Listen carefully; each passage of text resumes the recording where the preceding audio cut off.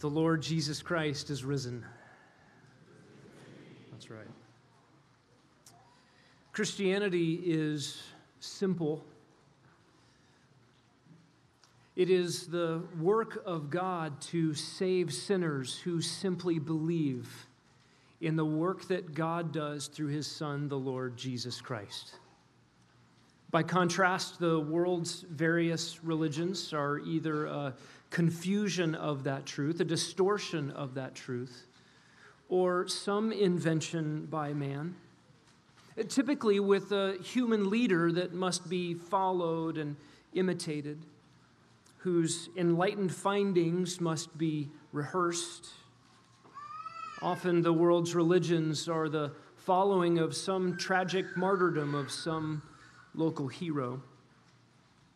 But Christianity is not an adherence to the teachings of an enlightened founder of some ancient religion. It is not the rehearsal of the wise sayings of some long dead guru. Christianity is not a following in the footsteps of some well meaning martyr. We worship the death conquering, sin canceling, life giving Son of God, Jesus the Christ who is very much alive, who is at the right hand of his Father in heaven, and who will return in victory to establish his kingdom and to subdue his enemies. I want to turn our attention this morning to an Old Testament prophecy that depicts our present era. You may have wondered what, what is Jesus doing since the resurrection? And this text is going to give us some insight into that. I want us to look this morning at Psalm 110. Psalm 110. This is an Old Testament prophecy. In fact, this song, written by King David a thousand years before Christ, actually depicts our present time this day. And it describes three aspects of Jesus' present activities, what Jesus has done since the resurrection. There's some men that are ready to pass out Bibles. If you don't have a Bible, we'd love for you to be able to follow along this morning in God's Word so that you can see it for yourself just slip your hand up and let these men know that you'd like to have a copy of God's Word. And if you don't own a Bible, we'd love for you to keep this. Psalm 110, a psalm of David. Yahweh says to my Lord, Sit at my right hand until I make your enemies a footstool for your feet. Yahweh will stretch forth your strong scepter from Zion, saying, Rule in the midst of your enemies. Your people will volunteer freely in the day of your power. In holy array from the womb of the dawn, your youth are to you as the dew. Yahweh has sworn and will not change his mind. You are a priest forever, according to the order of Melchizedek. The Lord is at your right hand. He will shatter kings in the day of his wrath. He will judge among the nations. He will fill them with corpses. He will shatter the chief men over a broad country. He will drink from the brook by the wayside. Therefore, he will lift up his head. Will you pray with me? Oh God, we look to this song, this old prophecy about our Savior. And we rejoice with King David. What King David looked forward to, we look back on and we gaze on now, even with the eyes of faith, and we anticipate the return of Christ to this earth. Help us now, O Lord, by your Holy Spirit to understand your word, that we might worship the risen Christ. I pray this morning that those who have not yet known him personally, who have not yet bowed the knee or confessed with their tongues, that He is Lord would do so this day and find salvation and rest and new life. And we ask it in Jesus' name. Amen. This is a prophecy written by David about Jesus of Nazareth, David's great, great, great, great, great, great, great, great grandson. I don't think I got the right number of greats. You can check my math on that. This descendant of David is a descendant in the lineage of David, and yet this one is also David's God. Uh, to introduce this text that we'll be studying this morning, I want to turn our attention to the New Testament. I want you to see how the gospel writers and how Jesus himself employed this text, Psalm 110, to talk about his own life and ministry. Turn to Matthew chapter 22. In Matthew 22, Jesus is having one of his exchanges with the Pharisees, those leaders of Israel who should have known God's word and God's ways and who were antagonistic to Jesus. In Matthew 22, Jesus is quizzing those religious leaders, the Pharisees. And, and here in this quiz, he affirms that David wrote Psalm 110. He also affirms that Psalm 110 are the words of the Holy Spirit. He also affirms that it is a prophecy, a prediction about the future Messiah. He also affirms that the Messiah would be a descendant of David and that the Messiah would be the Lord of David, that Messiah would be enthroned at the right hand of Almighty God, and that Messiah would one day put his boot on the neck of his enemies. Jesus affirms all of these things here. And in so doing, Jesus actually claims to be that Messiah, to be divine, to be supernatural, to be God in the flesh, and to one day put his foot on the necks of his enemies. Matthew 22, beginning at verse 41. Now, while the Pharisees were gathered together, Jesus asked them a question What do you think about the Christ or the Messiah? Whose son is he? They said to him, The son of David. He said to them, Then how does David in the Spirit call him Lord, saying, Yahweh said to my Lord, Sit at my right hand until I put your enemies beneath your feet? If David then calls him Lord, how is he his son? And how did the religious leaders take this quiz? Did they get the answer correctly? Look at verse 46. No one was able to answer him a word, nor did anyone dare from that day on to ask him any more questions. Jesus stopped them in their tracks. You see, in Jewish writings before and during the time of Christ, Psalm 110 was seen to depict someone other than David, someone after David, and someone greater than David. The Jews had actually connected Psalm 110 to Psalm 2 and Daniel 7 and Psalm 8. You see, Psalm 110 portrays Yahweh's king who would conquer the nations. Psalm 2 portrays that same reality, but also calls him God's son. Psalm 8 shows us that God's intent has always been to have a man rule over the creation. And Daniel 7 depicts a supernatural individual called the Son of Man appearing in God's throne room the one that God gives glory and dominion to, and that all the nations and all the peoples and all the languages will serve him, and that one's kingdom will be forever. It was common in the first century for the Jews to put all of these realities together and to put them all into their idea, their concept of the person of Messiah. This one that they anticipated, woven together through the Old Testament scriptures, God's anointed. In fact, the literature written after the last book of the Old Testament and before the first book of the New Testament is filled with anticipation and speculation about this Messiah. so the Pharisees felt the weight of what Jesus was getting at. By the 22nd chapter of Matthew, it's clear that they are Jesus' enemies. And if Jesus of Nazareth is truly the one referred to in Psalm 110, then the Pharisees are in a heap of trouble they will one day find themselves under the boot of King Jesus. Psalm 110 sets the record for being the most quoted Old Testament text in the New Testament, quoted at least 22 times, referred to more than that. And the basic message is this Jesus is the exalted king who paid for our sins, and he is coming back, and right now he's waiting.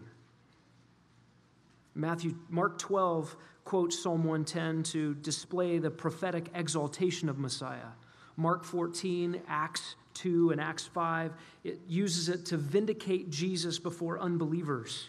In Matthew 26, Jesus quotes Psalm 110 in answer to the question, Are you the Messiah? And then when people hear the answer, they claim that he's blaspheming. In Acts 2, Peter quotes it to demonstrate the resurrection and ascension of Jesus.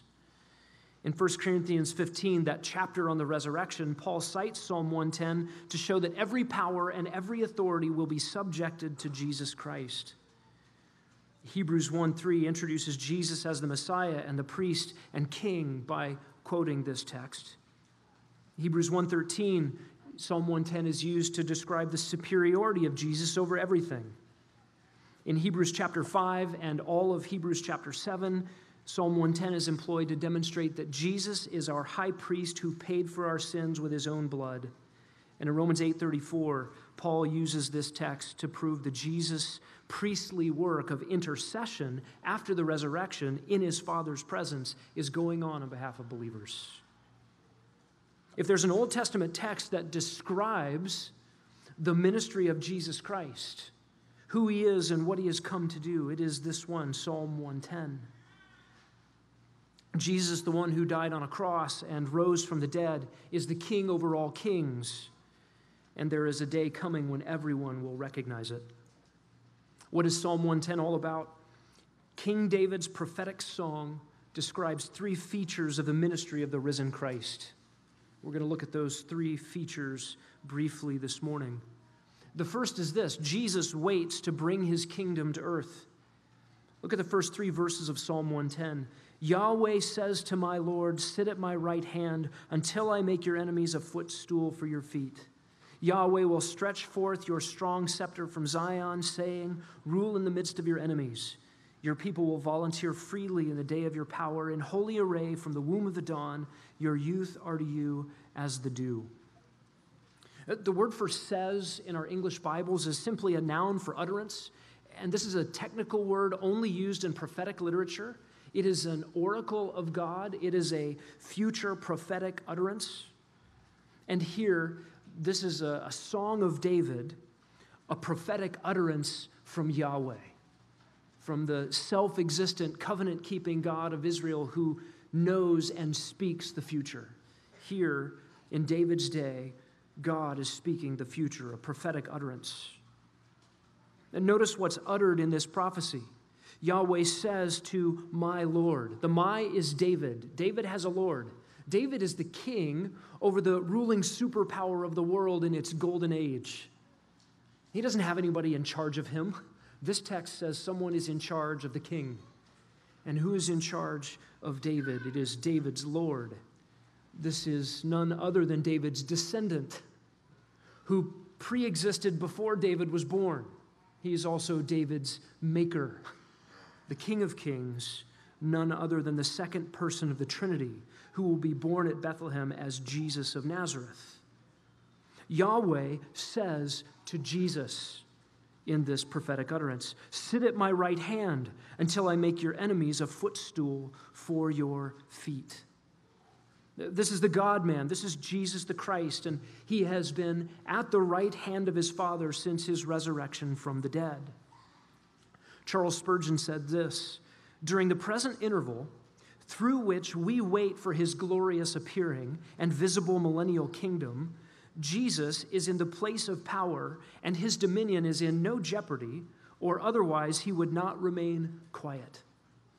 That is, Jesus is content at the Father's command to wait to have what is rightfully his. That is, a kingdom on earth where his enemies are subdued and his people live in paradise.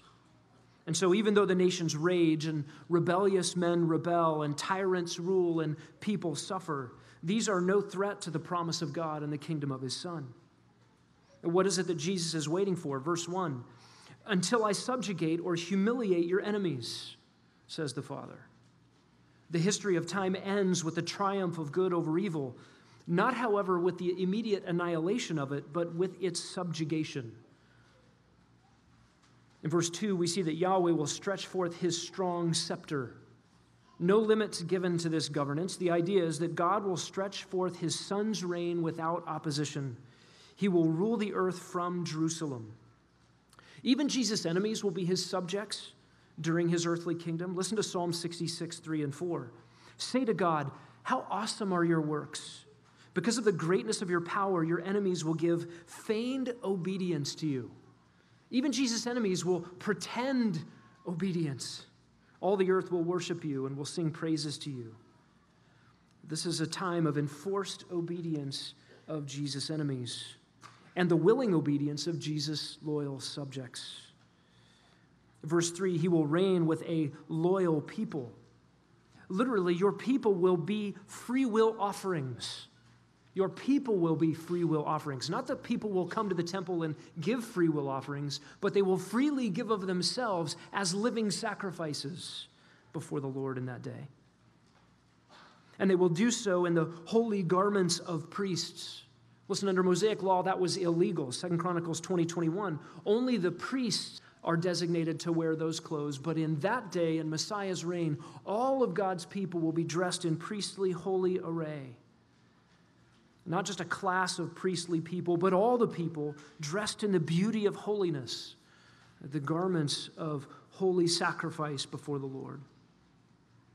Verse 3 tells us, Your youth, your young men will be as numerous, as fresh as the dew on the mountainside in the morning. This is a picture of a vigorous, holy, loyal army of subjects, joyfully devoted to the king.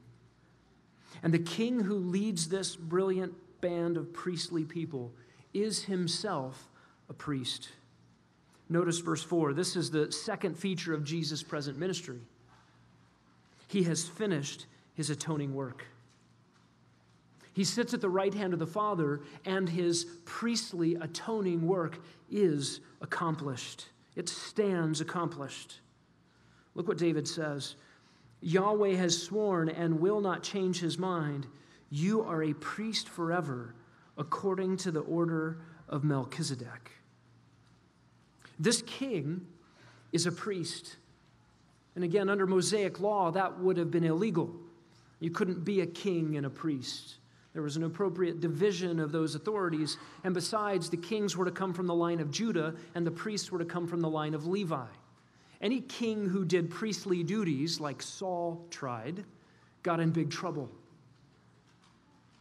And so, this king, if he was to be a priest, had to be something different than what Mosaic law prescribed. In fact, the order of his priesthood predates Mosaic law and postdates Mosaic law. You will be a priest according to the order of Melchizedek. Mosaic law was to give way to something else, and you would be this priest forever. All the priests under Mosaic law were temporary. Their office was temporary as a whole, and each individual priest's service was temporary because every priest died and had to be replaced. But this one is like Melchizedek, and you can read about Melchizedek in Genesis 14, Psalm 110, and Hebrews. Not much is said about Melchizedek in the Bible, and maybe you'll name a son with the middle name Melchizedek. It's a great middle name. Melchizedek was the king of a town called Salem. Salem is the Hebrew word for peace. He was the king of peace um, the, the, the Jebusites held the city of Salem. That is why Jerusalem is called Jerusalem, because it was held by the Jebusites of Salem. And this king of Salem has another name, Melchizedek, which literally means the king of righteousness. So simultaneously, his name is the king of righteousness and the king of peace. And there's silence surrounding this human figure called Melchizedek in Scripture. He's of unknown lineage, a mystery of birth and death. And as a figure in history, he appears immortal. His life, his kingship, his priesthood point to and anticipate the priest king role of the second person of the Trinity, of God the Son, of Jesus the Messiah. And Jesus, as a priest and king in the order of Melchizedek, sat down, verse 1, the right hand of the Father. Hebrews 1 3 says, When he had made purification for our sins, he sat down at the right hand of the majesty on high. Listen, priests in their Mosaic law didn't sit down, they kept standing. They had to keep offering sacrifices over and over and over again. And, and when one priest's duty was over, his time of service was over, another priest came, and there was always a priest standing and standing and working and offering.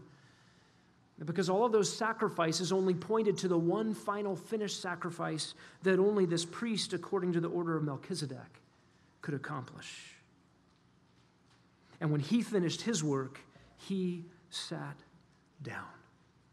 It means when you place your faith in the Lord Jesus Christ and what he has done on the cross to pay for sins, it means that sins are actually paid for. That God's justice has been satisfied and his anger against sin has been quenched for all who would believe in him. And when Jesus uttered, It is finished, hanging from the cross, it means the work of atonement, of making us at one with God, was finally and fully complete. Our king took a painful crown of thorns, a mocking scepter made of reeds, and a purple robe as a costume for the amusement of his tormentors. He was lifted up before the world, not in the honor that is due him, but stripped naked, bloodied, shamed, and scorned so that by his own death he could offer to God a sacrifice of atonement for sin. And there at the cross, the king was victim, the priest was the sacrifice. That the author of life subjected himself to death. The innocent and beautiful Son of the Father clothes himself in the sins of humanity so that he could endure the punishment due those sins. Poet F.W. Pitt wrote the lines to the maker of the universe. I'll read them to you. The maker of the universe, as man, for man, was made a curse. The claims of law which he had made, unto the uttermost he paid. His holy fingers made the bough, which grew the thorns that crowned his brow. The nails that pierced his hands were mined in secret places he designed. He made the forest whence there sprung the tree on which his body hung. He died upon a cross of wood, yet made the hill on which it stood. The sky that darkened o'er his head, by him above the earth was spread. The sun that hid from him its face, by his decree was poised in space. The spear which spilled his precious blood was tempered in the fires of God. The grave in which his form was laid was hewn in rocks his hands had made. And the throne on which he now appears was his from everlasting years. And a new glory crowns his brow, and every knee to him shall bow. This king, having risen from the dead, sits at the right hand of the Father and waits for the right time when he will return in unmistakable triumph. Third feature of his present ministry is the anticipation of his return in unmistakable triumph. Psalm 110, 5 to 7. David, speaking to God, says, The Lord is at your right hand. And if you're paying close attention to capital letters in your text, this one is capital L, lowercase O R D. It's the Hebrew word Adonai. It means Lord or Master. The Lord is at your, and the your is Yahweh. A reference back to verse 1 with the all capital letters Lord. In other words, Jesus is at the right hand of the Father in verse 5, says David. And he, Jesus, will crush kings and bring the obedience of the nations under his rule and reign. We won't go through all the details in this section, but simply close with verse 7. He will drink from the brook by the wayside. That is a reference to the ease of victory of this coming king. He will lay waste to his enemies, and it will be easy for him, so easy that as he's marching in and having his victory, he'll take a drink by the brook. Consider the one who said on the cross, I thirst in the presence of his enemies. Will easily take a drink from the brook on his way to an easy victory and his enthronement on the earth. John Calvin wrote, As a shepherd is gentle towards his flock, but fierce and formidable towards wolves and thieves, in like manner, Christ is kind and gentle towards those who commit themselves to his care while they who willfully and obstinately reject his yoke shall feel with what awful and terrible power he is armed. What is Jesus doing since the resurrection? He is waiting for the Father's perfect timing to establish his kingdom on the earth. And he stands and sits at the Father's right hand, having already accomplished the work of atonement. And he will return to his earth to establish his kingdom, to rejoice with his people, and to subdue his enemies. As you look back on the cross of Christ, are you covered in his blood? Do you rejoice in an empty tomb? Do you rest now in his present work of being your stand in before the Father as one who has already accomplished the work of redemption and taken care of your sin, believer? And are you eagerly anticipating his return? Do you pray even as he taught us to pray, Your kingdom come, your will be done on earth as it is already being done in heaven? Let's pray.